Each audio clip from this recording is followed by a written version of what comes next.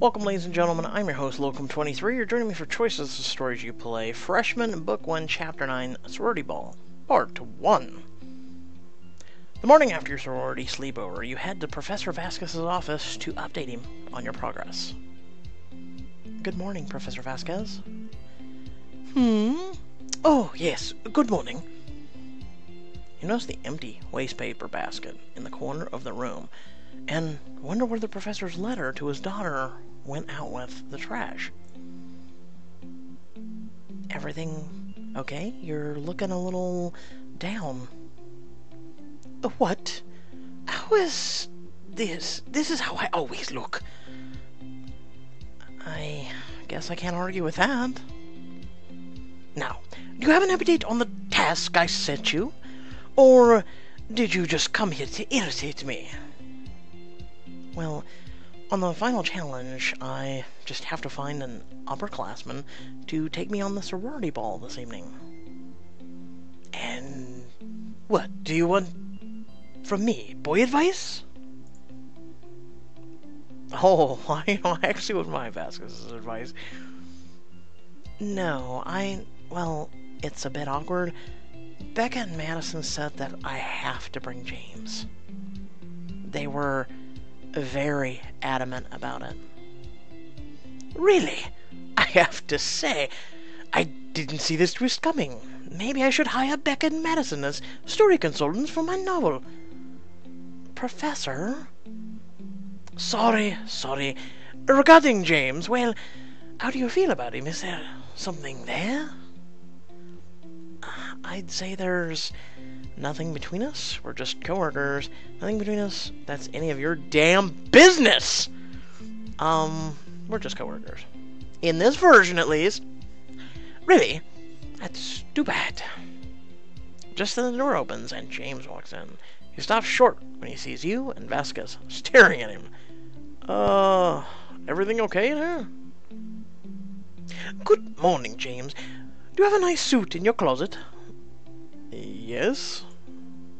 Good. You're taking Mazumi to the sorority ball at Kappa Psi Sigma house tonight. What?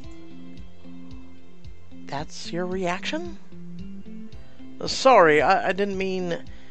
I was just caught off guard, that's all. I'd be happy to accompany you to this sorority ball. You would? Uh, I mean, thank you. I look forward to it. You can pick me up from my dorm around 6. Uh, great. I will see you then.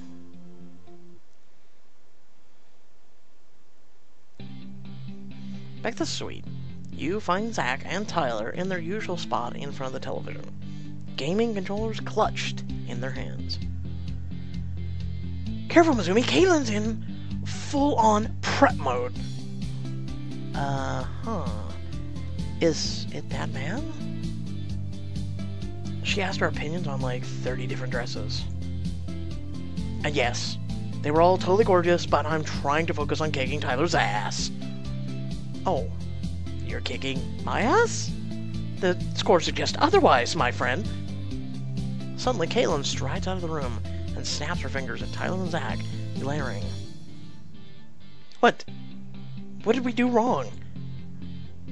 Could you use your words, please? Up. just what? The look and just up. what? Galen hauls Zach and Tyler off the couch and starts flipping over the cushions. Looking for something? I lost my sparkly eyeshadow palette bad enough that I can't seem to find the right dress. Now my face is a total disaster too. Let me see. Don't be silly. You look great. Yeah, you need that eyeshadow. You look gorgeous. I'm kind of starting to wish you were my date. I'm gonna go with that. You... you are? Mm, maybe a little. You're just saying that to make me feel better. But, thank you. Why would your makeup be in the couch?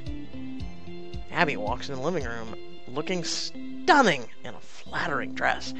You all stare at her. Oh, Kaitlyn, you were looking for your eyeshadow? Damn, Abby. What? Why are you all looking at me like that? Cause you look hot, girl, duh! Aw, doesn't she look great, Tyler? Look, she's blushing. Doesn't she look great, Tyler? Mazumi? You, you, you really do look amazing, Abby. Really? Really? Oh, well, thanks, Tyler. I anyway, here's your eyeshadow palette. Kaitlyn, it dropped under the cabinet in the bathroom. Sorry, I should have mentioned it before. No worries. I'm glad to have it back. Now, if only I could find the right dress. But let's focus on Mizumi. What are you wearing to the dance? Hmm. I haven't really thought about it. Are you kidding me? Picking the right dress is everything. No, it's not. With the right dress, your crush drool will drool over you, and your enemies will be insanely jealous. I guess I'd better choose wisely. Don't worry, it'll be according to what Pixelberry's diamond choices us. Okay, so not gonna lie. I mean, for those who are very I mean, I have to do the diamond editions, even though I wish I didn't have to do the diamond outfits, because to me they're... Especially in this, if it was Crown of the Flame, I would do it. But this is just so dur. Um... Don't get me wrong, I wish this outfit was in black, and then the... the... yeah. Okay? Yeah. I like that one. I like the sparkly. It looks like the cosmos is, and and then again, I like her, her little black dress. The black dress is actually fantastic, but um, oh, you're killing me here. I like like uh, little things that go along the neck because I'm a little neck person, but then also revealing the neck, but then also having the shoulders revealed. That's nice too. But then, when it comes to my more modest casual say, you know what, scrub. There you go. Just pick a dress, damn it! You're becoming a woman! Sorority score? What the hell? I never seen that. I guess Diamond Edition really does give you something. You walk back out of your room wearing a sparkling midnight blue dress with an illusion neckline. Careful, Mazumi. You go out looking like that and someone's gonna fall in love with you. You could say that again. Too much? No way!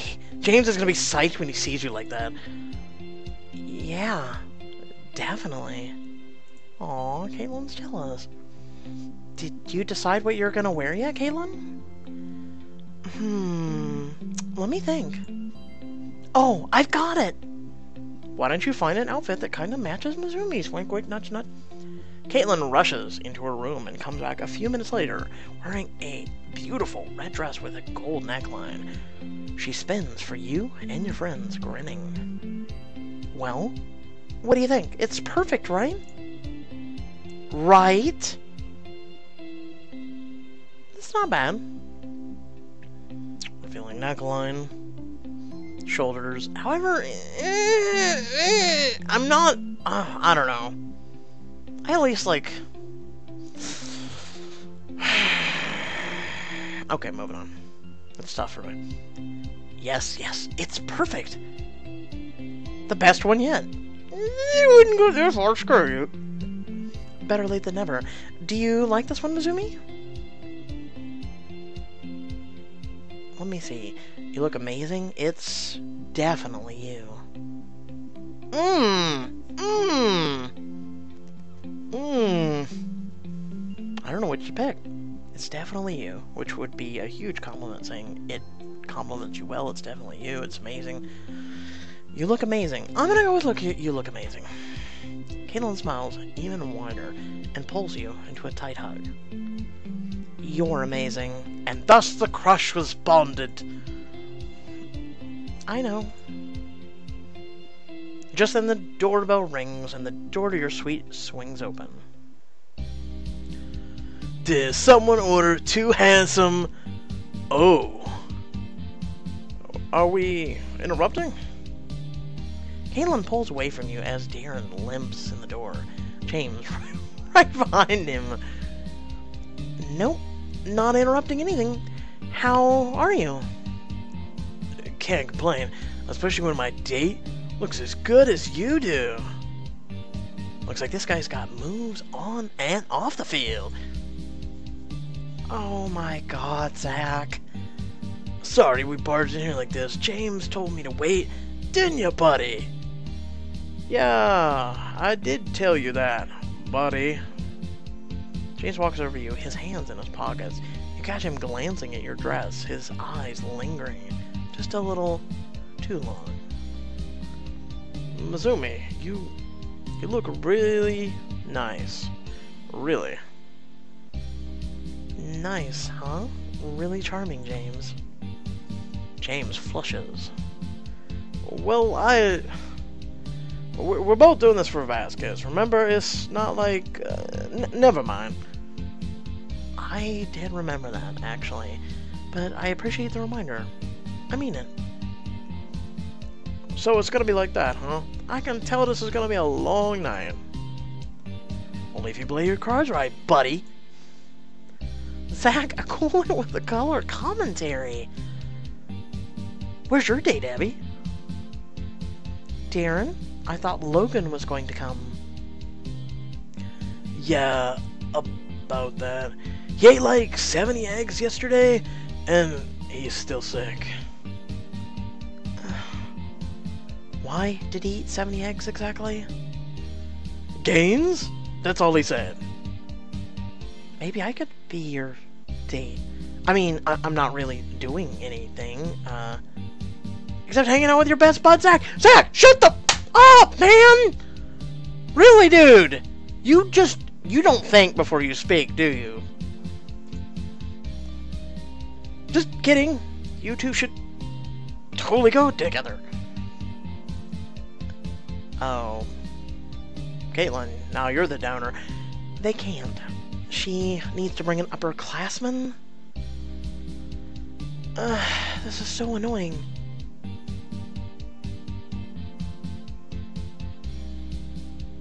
Well, don't worry about it, Abby. Just stick with us. Well, I don't want to be a third wheel or anything. You won't be.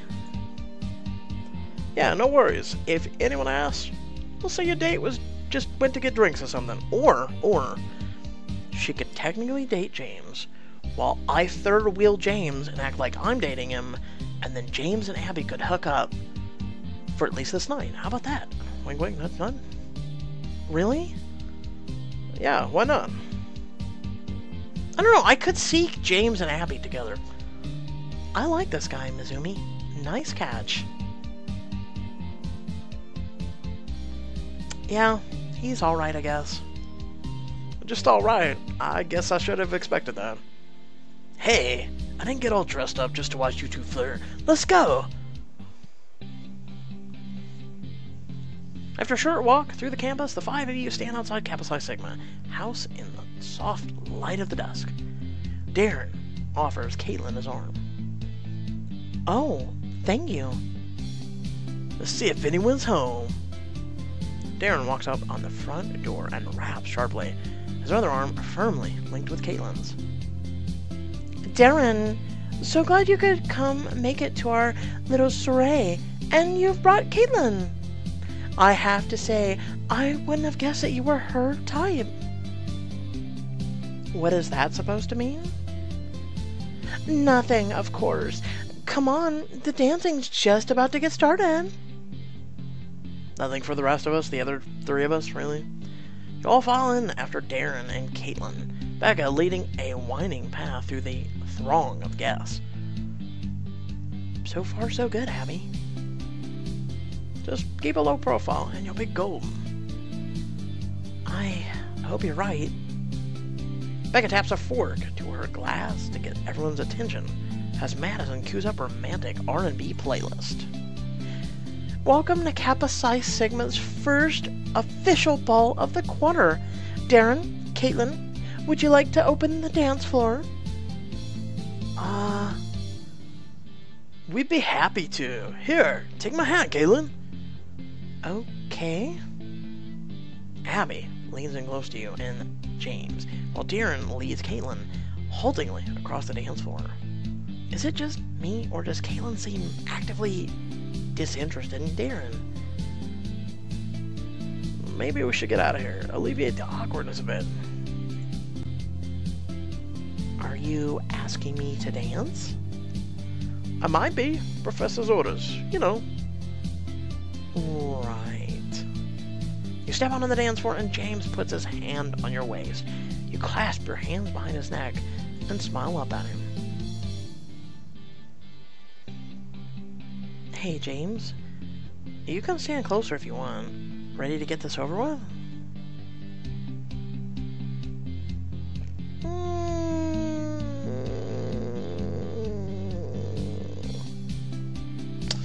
I mean, we really haven't been like, Kaitlyn, hey!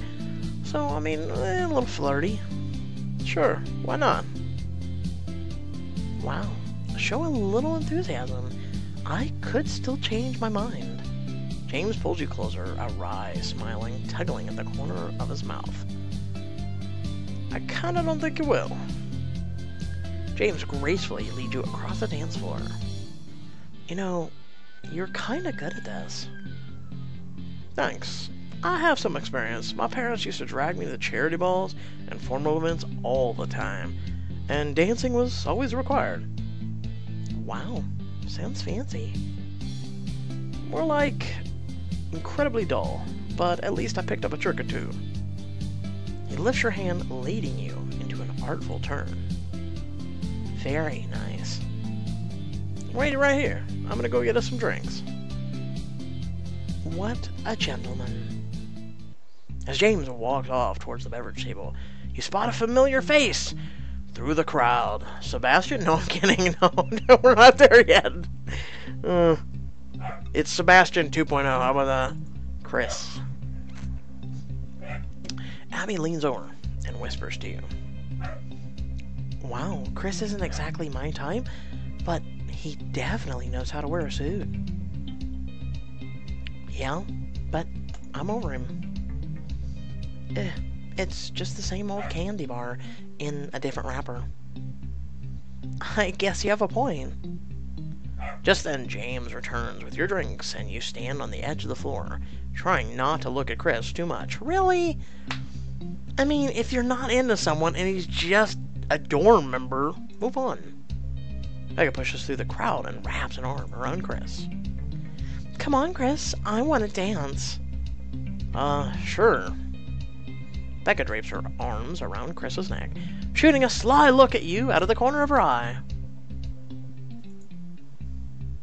You okay, Mizumi? You kinda went away for a second. Sorry, I just... Let's dance some more. Sure, whatever you want.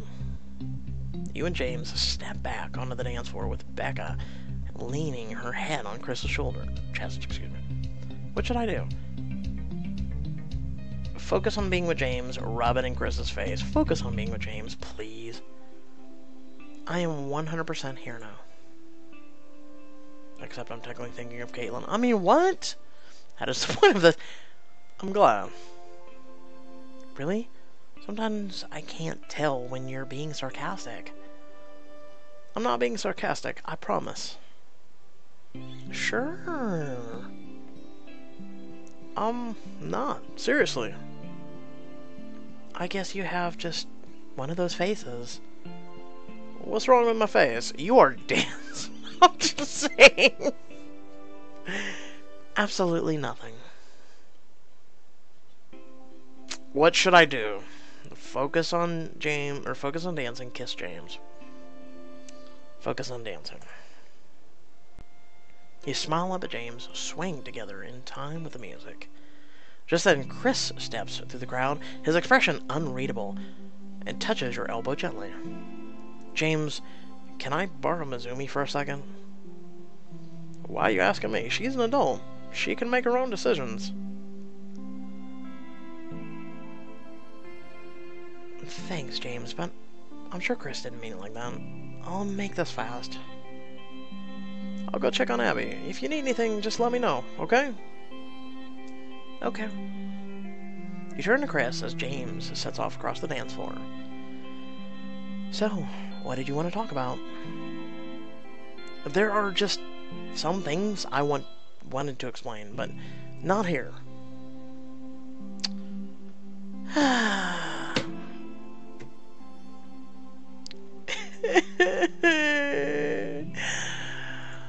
oh shit. Oh, oh shit.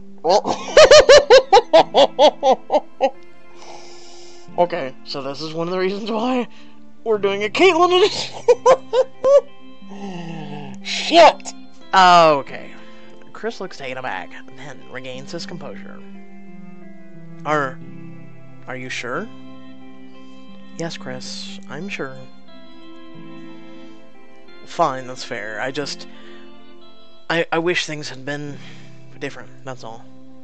We'll see you around, Mizumi. In about 20 minutes at the dorm. really? Yeah. See you. You watch Chris walk away from you and return to Becca's side, and a heavy weight settles over your heart. No, it doesn't! When did things get so complicated? You lean against the wall and take a deep breath, and then pull out your phone to dial Zach. Hey, Mizumi, what's up? How's your fancy ball going? Not so great, Zach. Not so great. What's wrong? This going back and forth, come on. Just stuff with Chris, I guess. Well, you know, I'd be happy to, to talk boy drama with you, but isn't Kaitlyn there? I'm sure she'd just know what to say to cheer you up. You know what? I think you're right about that. I'll see if I can find out where she disappeared to. Go for it. Just make sure to fill me in when you get back.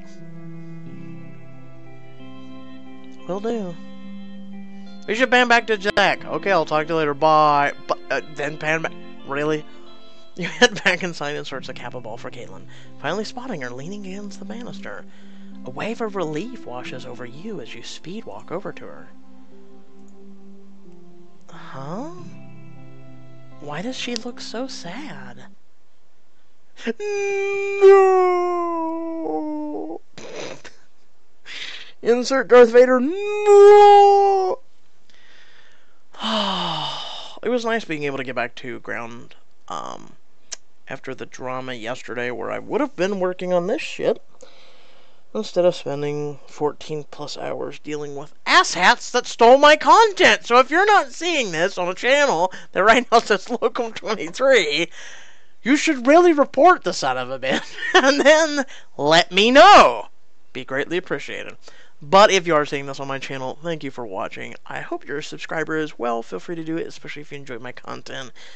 Otherwise, remember to like and share the video. You can always follow me down on my social media accounts down in the description below as well if you want to support my channel for the low cost of a cup of coffee. Feel free to do that as well. And, um, until next time, stay well, stay awesome, and I'll catch you all in the next video. Peace!